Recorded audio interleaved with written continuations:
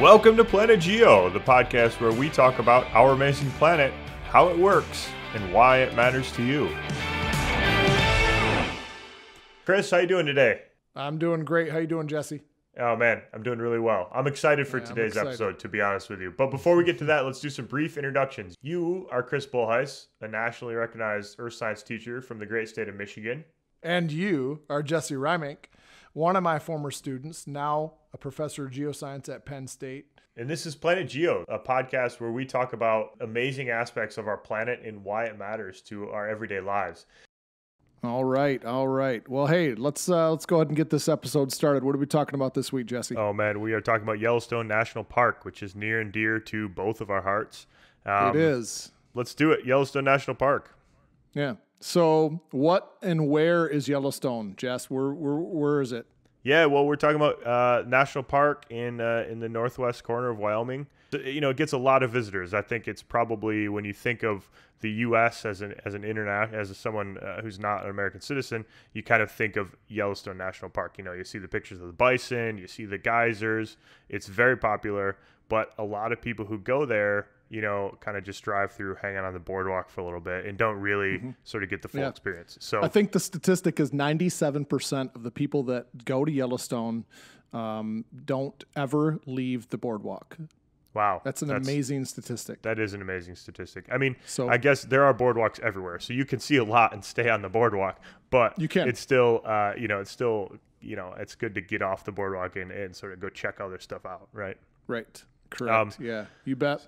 So yeah, we're gonna talk about the park. We, you know, it's near it's near and dear to both of us in some ways. Um, we've got a long history of going there, in part because of, or mostly because of the Summer Science Institute trip. That is a, a field trip that you've led for a long time, and that your dad taught and my dad taught. I, I went um, on the class when you were teaching it. I took this class, so you were teaching me, you know, about geology in Yellowstone, and it's really, I think, one of the places that.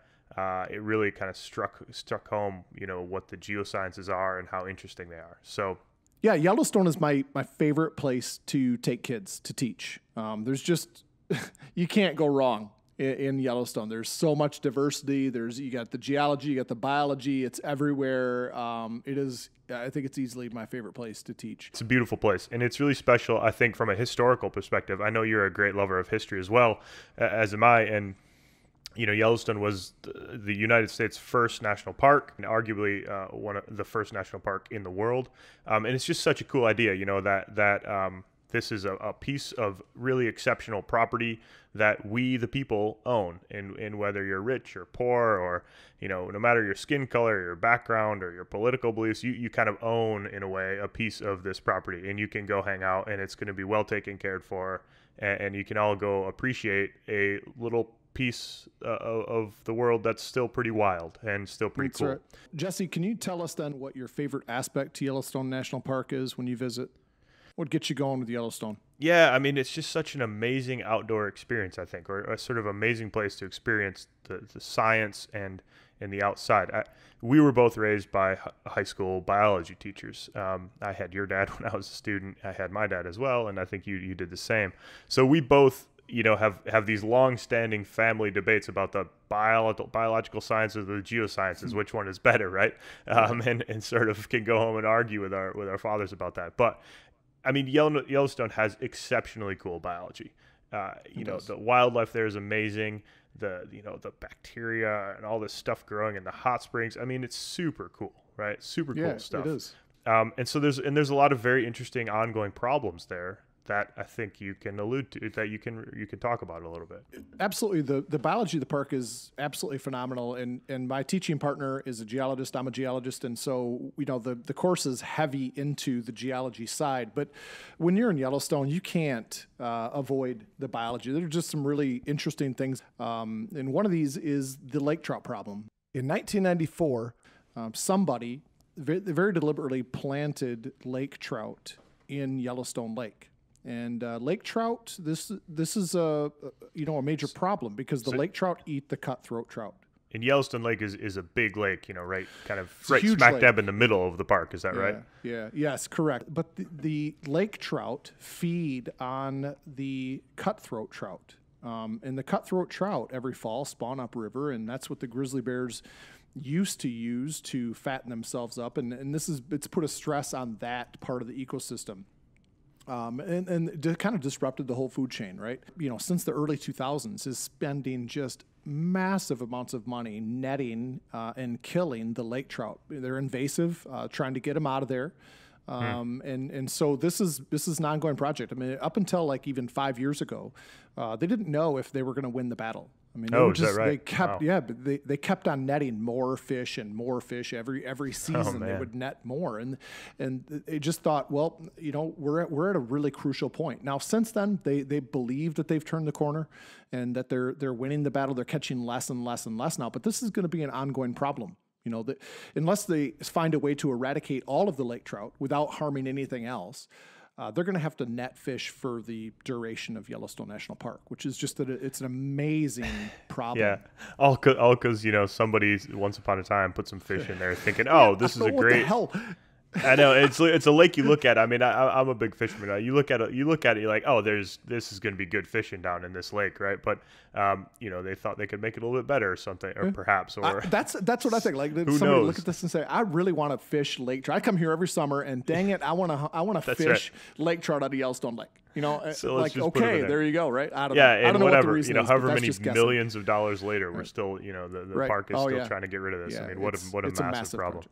Yeah. Um, so the other thing that we talk about um, that is just really a, a, fascinating thing, and it's very controversial. This is the reintroduction of the wolves. In 1995, oh, yeah. they reintroduced the wolves in Yellowstone National Park. Um, and, and, the thing, Yellowstone is it's not a zoo. I mean, the, these animals are, are, free to come and go as they as they please, and so they reintroduced them into Yellowstone. But obviously, then they're going to wolves migrate; they move. Yeah. You know, and and so that created a, a firestorm in the surrounding communities in both Wyoming and Montana and, and Idaho actually too.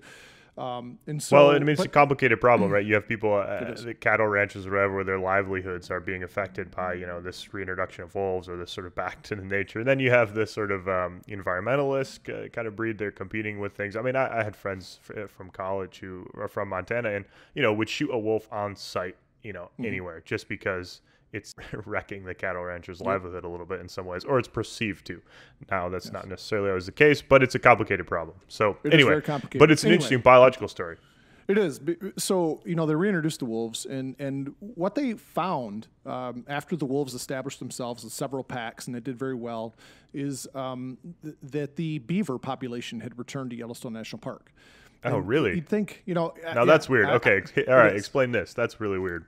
You know, it's it's uh it's what what they call in biology a trophic cascade, um, where you know one thing in the food chain affects another, and it just cascades down the line or up the line, whichever way you want to think about it, right? Mm-hmm. And and so. Um, anyway, this is this is what happened. Is uh, you know with the extinction of, of the wolves in that part of the of the country, um, the elk uh, were able to adapt to that. They, they just kind of hung out in the river valleys and, and uh, ate the willows, and the willows were the main habitat for the beavers.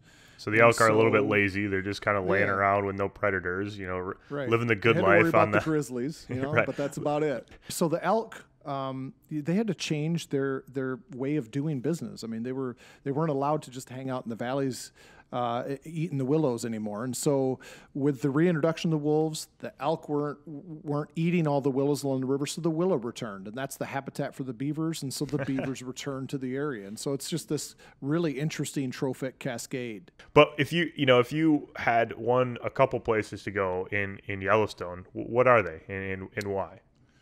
Okay, this is a very hard question for me to answer, and um, so I'm going to give it my best shot. If I if I'm in the mood, if I if I'm like, okay, I want to get away from people, then yeah. I'm going to go Crater Hills, um, which is a really cool hydrothermal feature that there's no trail that leads to it. You just kind of have to bushwhack to it. So you need a map, and you might be the only set of boots that are back there all year long. It's that remote of an area. But I, I will say this: that uh, my favorite place to hike in Yellowstone is a, is a is a peak called Avalanche Peak. Hmm. Um, it's a steep, uh, rigorous hike. It's not very long, but it is very steep, and uh, you're in the you know you're you're right along the rim of the caldera. Uh, you're outside of the caldera though, so you're in these higher mountains that kind of surround uh, the the majority of Yellowstone, and it's just a amazing views, 360s all the way around. It's just uh, it's it's my favorite place. Yeah, I think the only time I've ever done that hike was was in high school um, on on this trip, and you know it's just such an amazing place. It's one of those sort of uh, awe-inspiring places where you get a sense for the scale of the things, the processes that are going on in the geosciences as you're sitting basically on the rim of this caldera, which is you know 40 was it 40 45 miles wide or something like that. Um, you know, you're just it, it's amazing the scale of it, and you can really get a sense of it just sitting there looking at it. Yep. uh, so it I, it's super cool place. That's a super it cool is. place. Yeah. Um, so that would be me. What about you, Jess? Where's your favorite?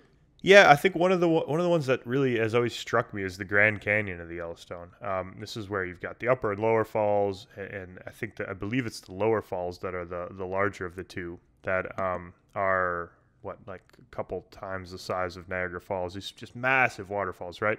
Um, and they're also flowing through this really uh, yellow rock uh, because it's hmm. this this eruptive uh, stuff called rhyolite, which is a rock that, that was erupted as part of this caldera forming volcanic eruption. But it's been altered, hydrothermally altered, so it kind of has this yellowish tinge. It's very beautiful. It has there's like red, uh, oranges, some probably like other color names that I don't really know, but but a really cool uh, spectrum of colors. Um, in the in the walls of the of this valley, uh, along with this big, you know, I think it's, it's the Yellowstone River that flows through there.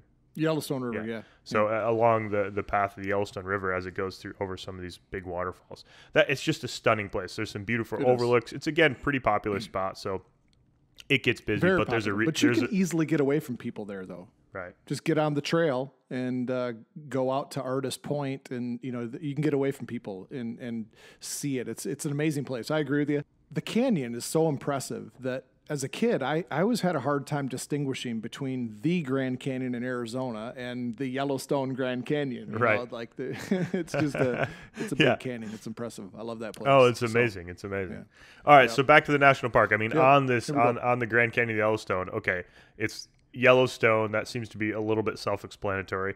Um, but it's not necessarily, you know, definitive where the original came name came from. Right. Yeah. So they, you know, there are two theories on why it's called Yellowstone. Um, one, I don't know. Are here are the two. One of them is that they're named for these yellow sandstone boulders along the Yellowstone River outside of Billings, Montana, and the other one is that you know the the vast majority of the rock inside the caldera in Yellowstone is this yellow rhyolite, and right. uh, so to me that version of, of why Yellowstone is named what it is makes more sense. But so that's the bit, one I go with. But yeah, it's a bit of a nicer tale as well, yeah. right?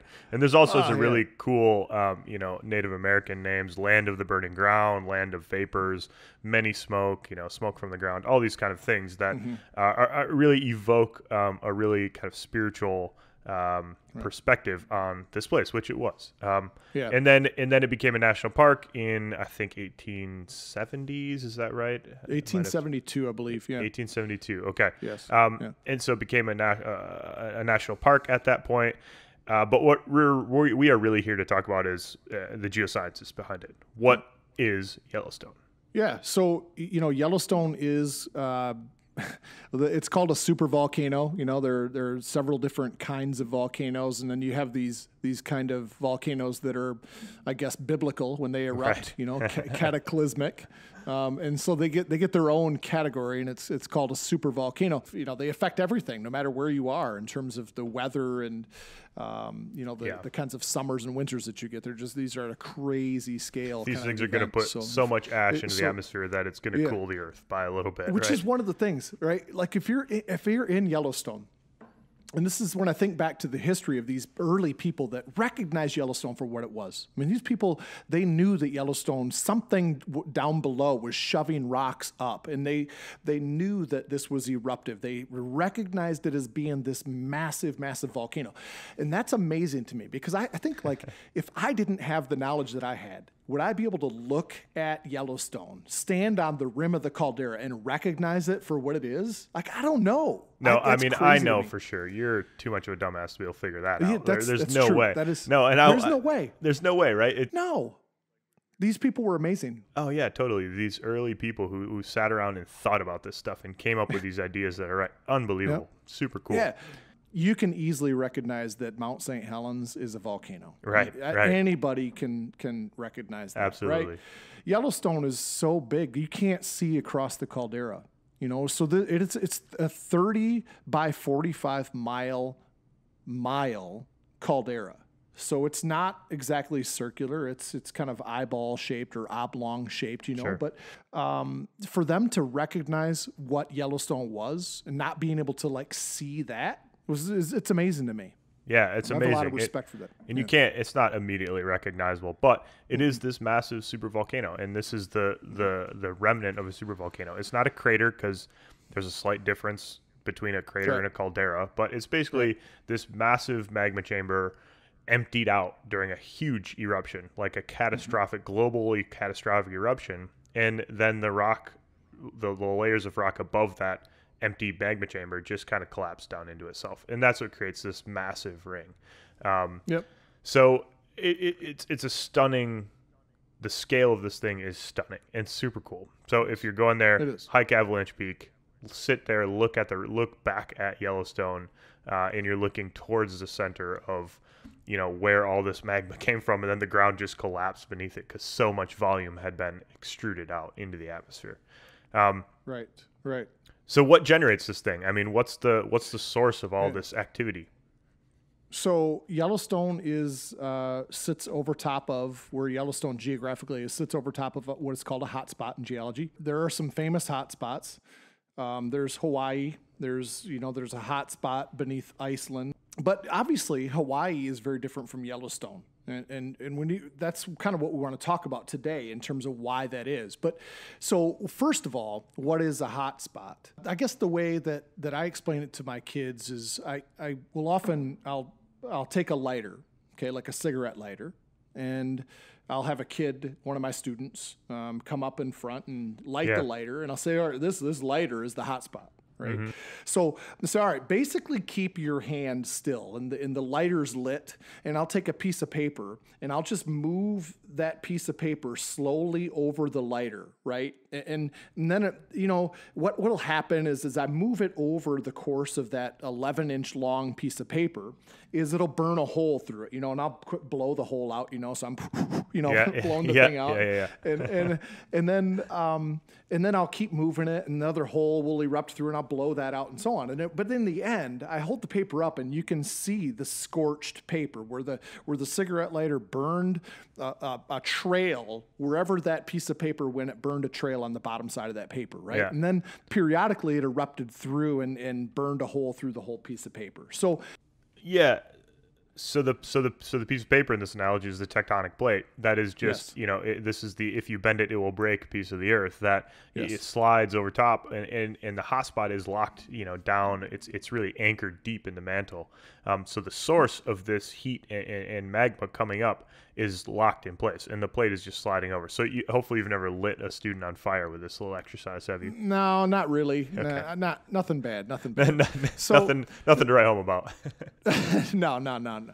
Um, so then, from this blob of hotspot at the base of the lithosphere, is strands of magma rise up into the lithosphere to much shallower, much closer to the surface of the Earth, Yep. and they create these magma chambers. Then. Uh, in the sh- in the in the crust, literally within the crust, they're fed by a by a, a, a plumbing network that connects straight back down to the hotspot. So they get injected with magma from the massive hotspot at the base of the lithosphere. And it is these shallow magma chambers that cause the eruptions that we see at the surface. Okay, these super eruptions. Right. I mean, Yellowstone, so- Yellowstone is the end member. Yellowstone is the it does not erupt often, and when it goes, it goes massively. That's that's the end. It's the end member on our planet at the moment, from what we know of. Like, I mean, in the case of you said one of your favorite places is Canyon. Uh, Canyon is one of the places, w- the Yellowstone Grand Canyon, where the hotspot is at its shallowest. There, it's the top of the, the that shallow magma chamber. There is ma- in places only one and a half miles below where you're standing Right. when you're at Canyon. And that's am- to me, that's amazing. I mean, that's that's right there at the surface of the Earth. You know, and Yellowstone is actually quite flat That's right. um, w- at least when you get inside, the majority of the park is you're inside the caldera. Um, and so, why is Yellowstone quite flat? Yeah. So, so this brings up an interesting story. I mean, I, I, I, this is something that's stuck with me since high school. Um, is I don't know if you remember this, Chris, but I, I- we were in Yellowstone, so we are camping in Yellowstone. Then we're driving to Craters of the Moon National Park was the the sort of next stop. Um, and so we're driving the bus. You know, we got this. We're on this summer science trip with whatever twenty five high school students, you, another, another teacher, both your families, and you're driving the bus. And I got a little bit bored in the back, um, and so I came up to the front of the bus. I think I sat on the steps right right next to you, and I just started peppering you with questions. I, you must have been so freaking annoyed by me, but I mean, I was just like, all right, trying to just talking, right, just chatting it up because you were the source of, of geoscience knowledge at that point. So I, you know, I couldn't couldn't resist, right? Um, anyway, so we're talking about this. We're driving through the Snake River Plain towards craters of the moon, and you're just asking me questions. You're like really, I think. I don't know what you were doing at the time, but you were trying to push my knowledge a little bit. Um, and you're like, all right, Jesse, we're driving through this valley, this big valley. Look on the other side. Like, there's mountains over there. There's mountains over there. There's there's no mountains in front of us. There's no mountains behind us. What did we just leave? and what are we headed to, right? And we had just left Yellowstone, and we were just headed to Craters of the Moon, which is another volcanic, you know, eruption. But this is effectively the remnants of the hotspot. And I sat there for a, I don't know how many hours it was, but it was hours, not minutes. Um, and I couldn't figure it out. and this drove me crazy. I, I, you, you eventually had to give me the answer. Um, and, and that I? kind of an I don't remember that. yeah. So you, you eventually had to give me the answer because I couldn't figure it out. Um, and it, and it drives me crazy to this day. It- those of you out there who, who know me, you know I'm a little bit stubborn, perhaps, and also I don't like it when I can't figure things out. So it really it really kind of irritated me that I couldn't figure that out, and I just I stewed on that for a while. I thought about it for a long time. But this is one of these again one of these beautiful things in the geosciences and this is kind of why we're, we're talking about yellowstone early on because it's an amazing very popular national park but it also has this really cool geoscience story to it which is the snake river plain which heads to the southwest from yellowstone as we see it mm-hmm. today so let's get into that a little bit because Yeah, you brought up so, the I last mean- eruptions in, in yellowstone proper but there's a whole long history past that So the Snake River Plain is just exactly what the name implies, right? It's relatively flat and it's like 60 miles wide. So as you're driving southwest along the Snake River Plain or west southwest, um, you like you said, you look to your right and you see these mountains. You look to your left, you see these mountains, and there's nothing in between, right? But those the mountains on the right and the mountains on the left look a lot alike. yeah Okay, that's they, right. they look a lot alike. Well, we're driving through these these kind of ridge and valley province kind of mountains, you know, and and those mountains were, you know, why are why aren't they where we're driving on the Snake River Plain? Well, they were swallowed by the Yellowstone caldera, w- Right. know, or by the by the Yellowstone hotspot, I should say. That's right. Um, so by, you know, by so- previous, you know, iterations of the Yellowstone hotspot, or or the Yellowstone hotspot, which is now beneath Yellowstone, but was previously beneath these parts of of the North American plate, or rather, the North American plate was back shifted to the to the northeast so that it was sitting. It's sitting the over. scorched earth. right? Exactly. I mean, it's a beautiful. It's the it's the piece of paper over the lighter. Okay, the, when I first take that edge of the paper and it just touches the tip of the lighter, and then it continues to move over it, right where Yellowstone resides right now, is the back end of that piece of paper. right. You know, and and but that hot spot though, Jesse, this hot spot is 17 million years old. It first e- became uh, an eruptive center 17 million years ago, 340 miles away from where Yellowstone is right now, to the south southwest. And so that's the track. That's the scorched earth on the piece of paper. The Snake River Plain is the scorched earth of the Yellowstone hotspot. If you leave Yellowstone, you drive along the Snake River Plain to the southwest, you're going into older and older and older rocks that are effectively the same thing as is being erupted in Yellowstone, you know, 640,000 or was being erupted in Yellowstone 640,000 years ago. Um, so it's basically the same composition, the same process. It's just a bit older. Yeah. Um, but the, th- the thing is, though, that I do want to mention about this is actually so Craters of the Moon is made up of black rock. It's all basaltic lava flows. You get these pahoehoe and ah lava flows and really, really cool stuff and cinder cones and so on. So the eruptive, this, it's still Craters of the Moon National Park is you know, most recently, I think erupted 1400 years ago. So very, Yeah. very recent geologically, right? And, but it's erupting a completely different style of rock. It's the you know it's the dregs of a former Yellowstone that that is Yes. that is kind of being erupted uh, periodically, and and you know as you as you head you know due west from Yellowstone, it gets more complicated. We have what like 12, 14 something different caldera provinces that as you head from Yellowstone to the southwest, you, you kind of go into these older and older provinces. So, so if you're going to Yellowstone, you're sitting in Yellowstone, listen to this. Um, you know, if you don't head to Crater of the Moon National Park, you're kind of missing the end of the story in a way. Um, and so, you know, if you don't have time to make it there right now, make sure you go back because it really, you know, kind of finishes the story of Yellowstone. I think Um, so. You know, it's uh, yeah. So yellow, what that means then is Yellowstone will eventually become covered with about six tenths of a mile of black basaltic rock, That's right. Right. That's right. and there. But the, but then there may be a new eruptive center further to the east of where Yellowstone is right now. That's right, Closer that's to right. Michigan. Right. That's right. Where it's kind of progressively as the continent drifts over the hotspot, and you know, we're going to start generating. There's going to be a new little straw punched in through the crust Mm-hmm. that brings magma up to really shallow levels, starts to generate these massive eruptions um, in a in a new place. Um, Mm-hmm. In the future, but Yellowstone, as it is right now, three eruptions, you know, last two million years. So that's every whatever, 600,000, 650,000 years, something like that. And the last one was 640,000 years ago. So a lot of, uh, you know, there's a there's a little bit of a culture uh, built around being worried about Yellowstone erupting, because if it does, it's a problem, right? It's a problem It's- for our economies. It's a problem for anybody living in within several hundred miles, if not on this planet. It's something that if it goes, we're gonna. It's catastrophic. It's as you said, biblical. Um, but six hundred and forty thousand years ago, okay, are we Chris Christopher Bolhuis, Are we due for an eruption? No, No, right? There's Exactly. no evidence to suggest that Yellowstone. There's anything going on in Yellowstone. Uh, this is a media hype. Uh, people love it. You know, everybody. It's so popular for people to say this is overdue. You know, Yeah. but we're talking about a 640,000. You know, that's when it last erupted 640,000 years ago, and. Uh, It, uh, on a human scale, the likelihood of this, it, this, this isn't.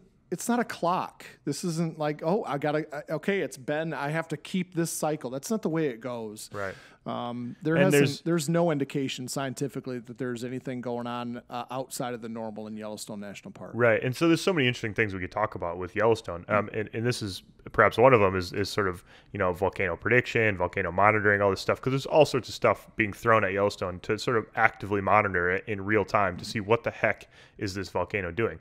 It's really interesting because volcanoes are really dynamic. Even when they're not erupting, they're like breathing in and out. They're they're giving off gas plumes. They're kind of spouting off a little bit. Then they kind of go dormant for a while, get really quiet, lay down, settle down, take a long nap. You know, they do all these really interesting things in the lifetime of a volcano. They're really active, dynamic features. Um, but on the timescales of human society, uh, we don't need to be concerned that Yellowstone is going to erupt tomorrow. Yeah. I mean, A, a number of years ago, there was a, a ranger put a, he's a friend of mine. He put up a sign in Yellowstone National Park on the northern end of Yellowstone Lake by Fishing Bridge, somewhere near Fishing Bridge. It's a place that's it's I think it's called the Sour Creek Dome, and it was the most rapidly rising area in the world. okay, so he put up a sign and said, "This is the most rapidly rising area in the world." Yeah. A couple years later, he had to take the sign down because then it started to deflate and was actually right. sinking, and just you know, so and that's right. This is this, these volcanoes, you know, breathing in and out over. you puffing know, and puffing all the time. Yeah, exactly, and super cool. Real quick, I want to run these down. The so two million years ago was about 2,500 times the size of Mount St. Helens. Uh, about 1.3 million years ago was only 280 times the size of Mount St. Helens, only. And uh, 640,000 years ago was about a thousand times bigger than Mount St. Helens. So. Um, yeah, uh, you know, in any one of those are are just a, a scale that you know hasn't been witnessed ever by a human. You know, that's Right. that's an interesting thing. These no human has ever seen a super volcano erupt. and and they're hard to track. It's really hard to to understand what would the effects be at a global scale Mm-hmm. uh, of this eruption because it's been a long time. I just come to the conclusion, Jesse, that I, I don't think I'd want to just stay. If I like, if I had any precursor that Yellowstone's going to go, I think I'll just take my kids, my my, my family, and we're just going to go sit on the caldera. Yeah, you might as well, right? Mount St. Helens. You, you tried this once upon a time, Mount St. Helens, and you know it didn't work out for you. But maybe someday you'll be able to die in a Yellowstone eruption there, Chris.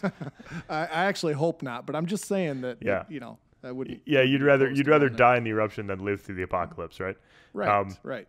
Yeah. You know, it's just a it's a special place, um, and I, I hope that you know, y- y- knowing a little bit about geology to me, and what what one of the things that I want to convey in this podcast then is that knowing a little bit about geology is an excuse to go see things that that strike you as interesting. That's right. know? That's right. So if you're sitting at home, you've never been to Yellowstone, go. It's Yep. definitely worth the trip. Be a three percenter, right? Yeah, that's right. Go someplace where there is no boardwalk and uh, and, and explore safely um, and, and responsibly. But you know, explore and take care of it because these national parks are our treasure and they're beautiful.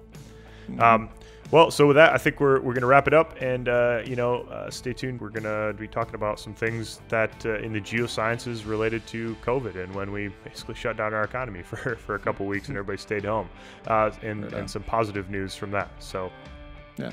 Sounds good, Jesse. All right. Thanks Talk everybody for listening. We'll talk to you later.